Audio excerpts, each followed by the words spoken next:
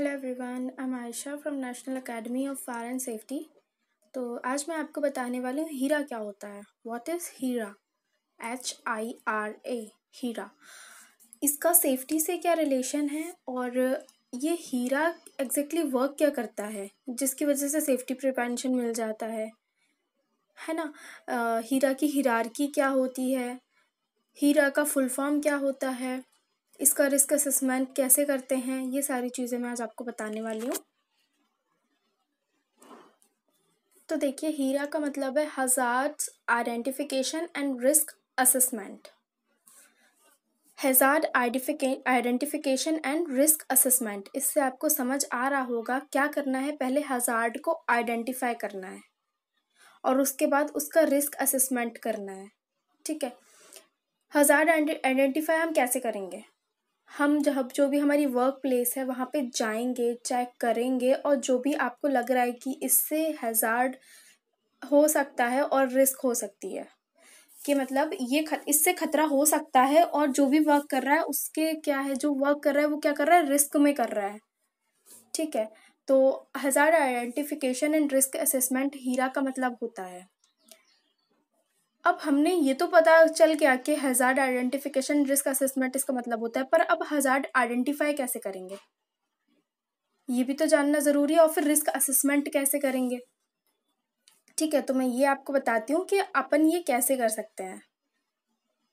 देखिए, कोई भी जगह है जहाँ पे कोई भी, मान लीजिए वर्क प्लेस है, अब वहाँ जो भी इंस्पेक्शन कर रहा है जो भी सेफ्टी डिपार्टमेंट से इंस्पेक्शन कर रहा है वहाँ पे तो उसे दिखेगा कि ये क्या है, एक हज़ारिया सिचुएशन है। तो क्या हुआ? उसने वो देखा और उसने उसको ऑब्ज़र्व किया। उसको अपनी चेकलिस्ट में शामिल किया और फिर उसे पता चल गया, ये हज़ार्ड हो सकता है, इससे बड़ा हज़ार्ड हो सकता है। और जो उसमें काम कर रहे हैं, वो क्या कर रहे हैं? रिस्क में वर्क कर रहे हैं अभी। तो क्या हुआ? वहाँ से हज़ार्ड तो आइडेंटिफाई हो गया। अब वो ये भी चेक करेगा कि इससे हाई हज़ार्ड हो सकता है मीडियम हो सकता है, किस टाइप का हज़ार्ड हो सकता है, ये भी वो समझ जाएगा। अब क्या होगा? रिस्क असेसमेंट होगा। वो चेक करेगा इसमें कैसी कैसी रिस्क हो सकती हैं या हैं अभी। तो उसको पूरा आइडेंटिफाई करने के लिए एक हिरारकी होती है इसकी। हम उसको फॉलो करना होता है, जब भी हम हज़ार जो है आइडेंटिफाई कर लेते हैं, सबसे पहले हमें ऑब्ज़र्व करना पड़ेगा कि हज़ार्ड आइडेंटिफाई करना पड़ेगा कि एक्चुअल में इस टाइप का हज़ार्ड वहाँ से हो सकता है, इस तरह का खतरा हो सकता है। मान लीजिए कोई भी वर्कर है हाइट पे वर्क कर रहा है तो खतरा तो हो सकता है ना, अगर उसने प्रॉपर पीपी ही नहीं पहनी है तो है ना? तो इसी तरीके से हमें हज़ार्ड आइडेंटिफाई करना होगा। उसके बाद हम रिस्क असेसमेंट कर पाएँगे। ठीक है तो मैं आपको बताती हूँ कि आइडेंटिफाई हज़ार्ड कैसे करेंगे। हज़ार्ड आइडेंटिफाई करेंगे। जैसे कि कोई जो भी आपकी वर्क प्लेस है, वहाँ पे आपको पहले देखना होगा, ये हाइट्स का हज़ार्ड है इलेक्ट्रिसिटी का हज़ार्ड है, या इसके अलावा तमाम सारे हज़ार्ड होते हैं, जैसे कि हॉट वर्क हज़ार्ड है, या नॉर्मल वर्किंग चल रही है, वहाँ पर कोई मशीनरी हज़ार्ड है तो हज़ार्ड तो किसी भी तरीके का हो सकता है तो वो हम वहाँ से आइडेंटिफाई करेंगे। जैसे ही हज़ार्ड आइडेंटिफाई हो जाएगा कि आपको लग रहा है कि हाँ ये खतरा है और ये अभी रिस्क में चल रहा है, ठीक है तो हम उसे नोट कर लेंगे। उसके बाद हम उसका रिस्क लेवल चेक करेंगे कि किस तरीके की रिस्क हो सकती हैं इसमें, या अभी हैं उस, किस तरीके की रिस्क अब हज़ार्ड आइडेंटिफाई कर लिया। अब रिस्क भी हमने मेज़र कर ली कि इतनी परसेंट से इतनी परसेंट रिस्क हो सकती है वर्कर जो उसमें चोट आ सकती है या हो सकता है उसकी बॉडी को कोई ज़्यादा हार्म हो सकता है, ये हमने आइडेंटिफाई कर लिया असेसमेंट कर लिया एनालाइज कर लिया कि इतनी परसेंट रिस्क है।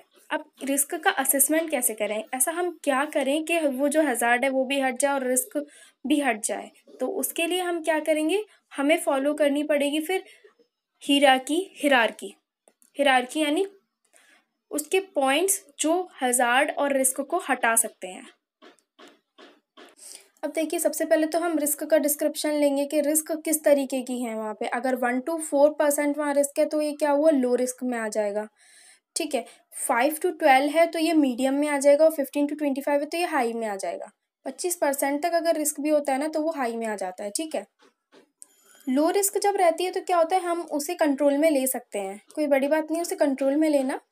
तो उससे ऐसा कोई ज़्यादा हार्म भी नहीं हो पाएगा क्योंकि वो कंट्रोल में आ जाएगी। अब जब मीडियम रिस्क होती है तो उसमें क्या चाहिए होता है? एक प्लान चाहिए होता है। एक प्लान बनाना होगा हमें कंट्रोल करने के लिए उस हज़ार्ड को। और एक टेम्परेरी ऐसी प्लान करना पड़ेगा हमें जिससे क्या है? वो मीडियम टाइप का जो हज़ार्ड है वो हट जाए। ठीक है, और जब हाई हज़ार्ड होगा तो क्या होगा? हमें इमीडिएटली एक एक्शन लेना होगा जिसकी वजह से हाई हज़ार जो है हाई रिस्क पर जो हज़ार चल रहा है उसको एलिमिनेट किया जाए। तो इस तरीके से हम पता लगा सकते हैं कि लो हज़ार्ड है मीडियम है हाई है। अब मान लीजिए कोई आ, वर्कर है हाइट पर वर्क करने जा रहा है और वो लैडर पर चढ़ना शुरू किया। अब मान लीजिए लैडर जो है वो कमज़ोर है और वो उसने तुरंत ही चढ़ना शुरू किया और वो कमज़ोर है आपको पता लग गया।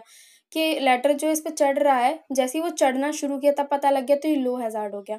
क्योंकि आपने चढ़ते हुए उसे देख लिया और तुरंत उसे वापस बुला लिया, वो कंट्रोल में आ गई। अब मीडियम का वो जब वो आधे पे पहुँच गया तो क्या करेंगे, उसे वापस बुला लेंगे। अब जब हाई पे पहुँच गया तो ऊपर से गिरेगा तो दिक्कत आएगी तो तुरंत क्या करेंगे, उसे हार्डनेस देंगे पहनने के लिए। तो इस तरीके से हम मेज़र कर सकते हैं कोई भी जगह पर हैज़ार्ड को। हैज़ार्ड को हम देख सकते हैं कि ये खतरा और इसमें रिस्क लेवल कितना है, इसको हम चेक कर सकते हैं। अब देखिए हिरारकी है किसकी कंट्रोल की जिससे हम हीरा कंट्रोल कर सकते हैं।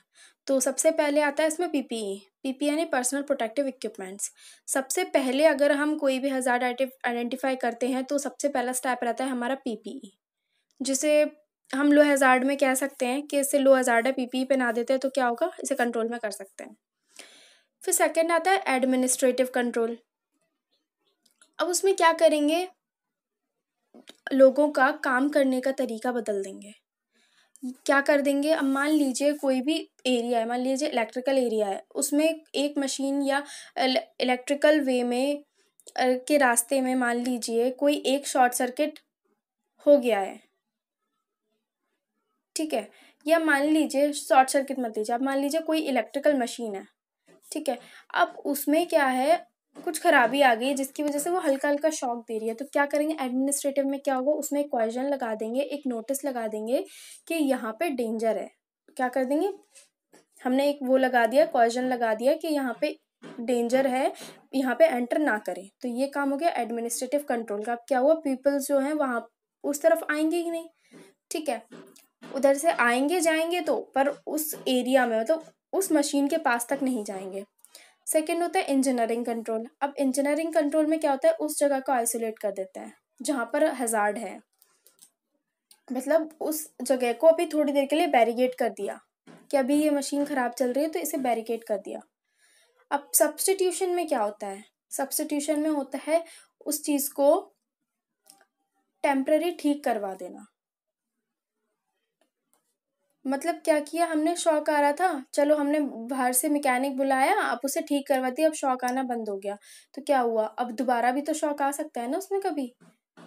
तो हमने क्या किया? सब्सटीट्यूशन में क्या किया? वो जो शौक आ रहा था, उसे एलिमिनेट करवा दिया। हटवा दिया। अब एलिमिनेशन में क्या होता है? उस चीज़ को, उस मशीन को ही पूरा बदल दिया उठा के। ठीक है? तो क्या होता है? हिरारकी कंट्रोल में सबसे पहले हम क्या करते हैं? पीपी फ़र्स्ट स्टेप रहता है हमारे देन उसके बाद हम सेकंड लेते हैं एडमिनिस्ट्रेटिव फिर वो काम नहीं करता है अगर तो फिर हम इंजीनियरिंग कंट्रोल लेते हैं। इंजीनियरिंग कंट्रोल में क्या करते हैं? आइसोलेट कर देते हैं उस जगह को, फिर हम सब्सटीट्यूशन करते हैं, उसको ठीक करवा देते हैं। ठीक है रिप्लेस कर देते हैं हज़ार्ड को हटा देते हैं वहाँ से, यानी कि, और फिर एलिमिने एलिमिनेशन में क्या होता है? उस चीज़ को, जिससे हज़ार्ड हो रहा है क्रिएट उसी को हम चेंज कर देते हैं। तो क्या होता है? लीस्ट और मोस्ट ठीक है? लीस्ट से लेके मोस्ट तक का ये इफ़ेक्टिवनेस है। ठीक है तो सबसे इजी वे पहले हमारे ये नीचे से रहते हैं स्टार्टिंग के तीन। चार, और एलिमिनेशन ये है कि हर एक जगह नहीं किया जाता, वैसे यूज़ ज़्यादातर ये नीचे के चार ही किए जाते हैं।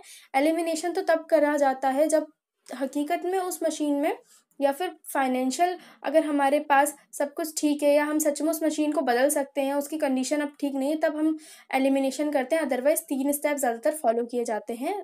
फिफ्थ वाला जो एलिमिनेशन वो रियर कंडीशन में किया जाता है। तो ये था आज हीरा। हीरा के बारे में मैंने आपको बताया हज़ार आइडेंटिफिकेशन रिस्क असेसमेंट इसमें रहता है। ठीक है। तो हिरारकी भी आपको इसके बारे में पता चल गया होगा, इसकी हिरारकी क्या रहती है और हम कैसे आइडेंटिफाई कर सकते हैं हज़ार्ड्स सो थैंक यू